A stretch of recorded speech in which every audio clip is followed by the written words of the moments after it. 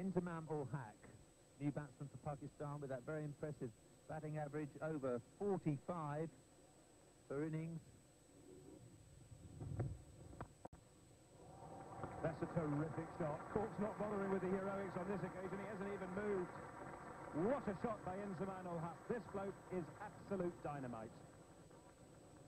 Well, he's just about half a yard over pitched at the moment, Simon Brown. He's used to that length swinging back into the batsman. And Inzamam has just clipped that away for four.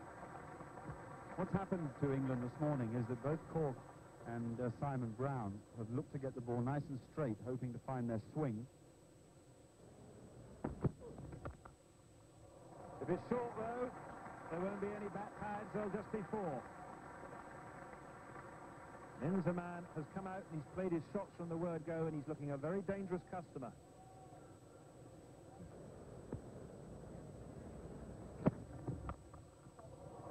Well, that wasn't particularly rash. It was a beautifully executed pull stroke. Inzamam just waited for it and pulled it away over square leg.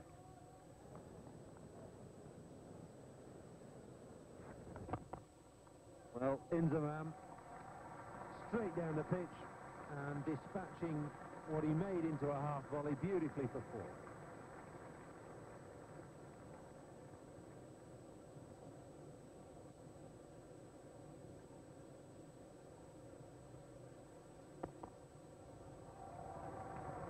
Folks like that answer the question. One of the great uh, strengths of Inzamam this morning has been how late he's played the ball. There's hardly a movement of uh, his body until he weighs up the length. Just that little shuffle forward and a punch of the bottom hand.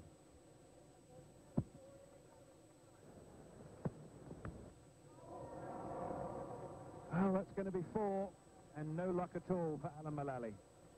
He's won the battle of pace there. You'll see Inzamam is caught slightly off balance for the first time, expecting the short ball. He hasn't got his weight transferred as well as he had earlier, and he's a little bit late. You can just see that front foot fractionally off the ground. He hasn't planted it and uh, formed a balance. That's really good bowling from Mullally. That's a good length, too, to uh, attack Inzamam with. That's a magnificent shot through the covers. That'll bring Inzamam ul Haq his 50. He had a terrible series in England four years ago. He's looking in supreme form this time. He's played beautifully for it, and this pitch is much more like the surfaces that he's got used to batting on at home. It's firm and dry and without a great deal of pace. And uh, his power is allied to his timing is going to shine on a surface like this. 153 for four.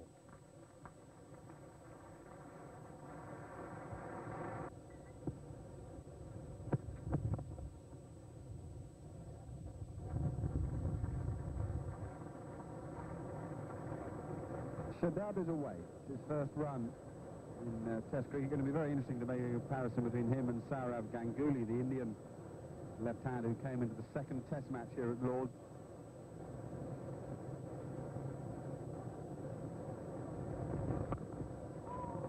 It's the first boundary. And uh, a lot of class in that stroke because he just had to adjust and wait a fraction longer than he thought he was going to class, top of the class, I'd say. Have a look at this. See that later on in this contest when Wasim Akram bowls to Michael Atherton. Lancashire teammates, good friends. Live within a couple of miles of each other in South Manchester. There'll be no love lost when those two are each other's throats. And that has been smashed away before.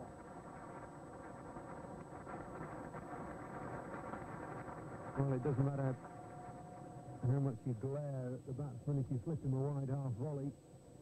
He's going to climb into it and crash it through extra cover as Inzamam has. Down on one knee. A glorious stroke. Inzamam's second four since the lunch break and his tenth in all.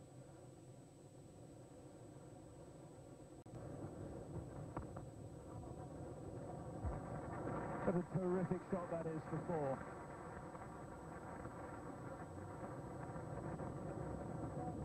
Well, Inzamam All he has to do is just wait, really. There are so many gaps on the leg side that he can get a single any time he likes. And when Salisbury drops fractionally short, there's no pace in the pitch. Inzamam just rocks back and uh, punches the ball through the gap on the offside.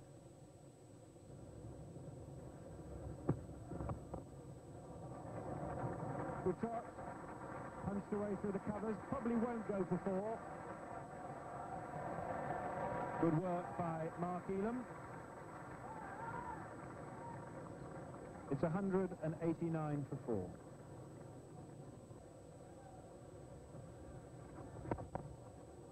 And that is comprehensive. Terrific shot from Inzamam to bring up the Pakistan 200. Down the pitch early, gets to the pitch of the ball, smashes it wide of the mid-on.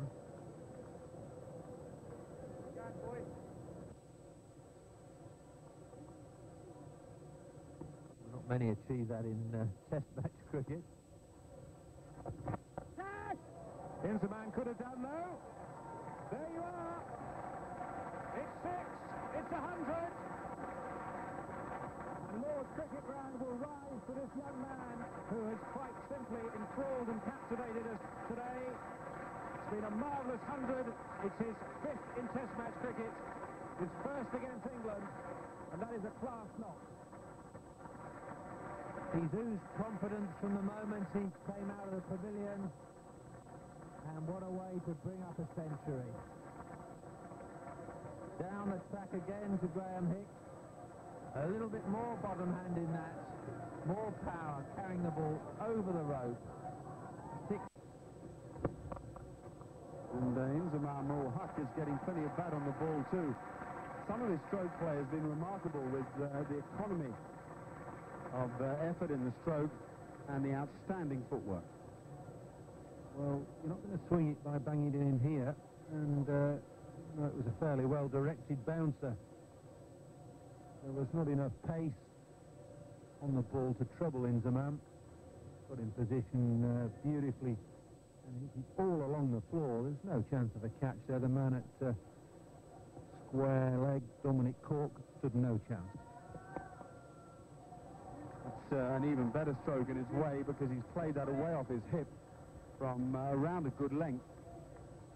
Inzamam has managed to be very upright in his stroke play and yet uh, almost crab-like in defence over the ball. He's a good example of how you should have your head over the ball and, and uh, really watch it closely. Yes, he stayed in line with that uh, until the last possible second and flicked it away on the leg side so as not to uh, hit the ball in the air. Field changes now. Glad to see that uh, mid-on has been posted for Brown. He really needs one of those.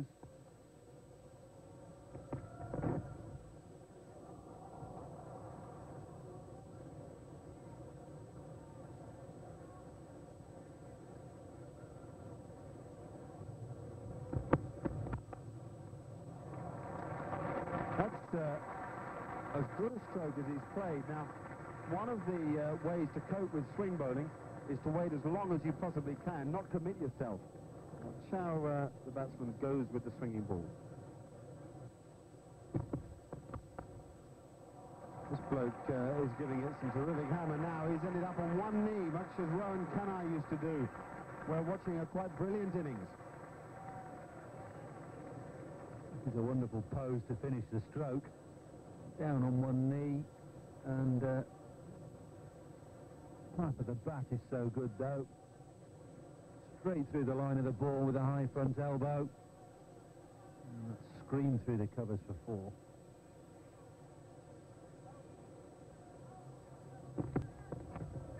That's well bowled.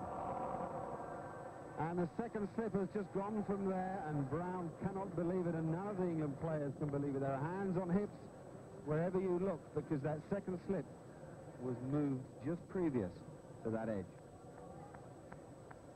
Fine delivery from Brown taking the outside edge as Inzamam looks to whip that through mid-wicket and Graham Thorpe so nearly gathered that one in, diving way to his right at first slip. That would have been a stunning catch.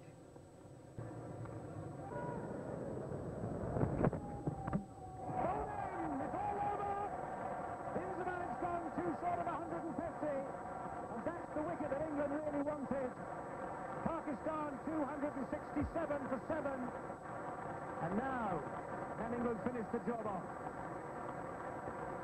The wicket for the home side. Mullally just getting the ball to swing in slightly to Inzamam, a thick inside edge. It crashes into the stumps. Mullally celebrates.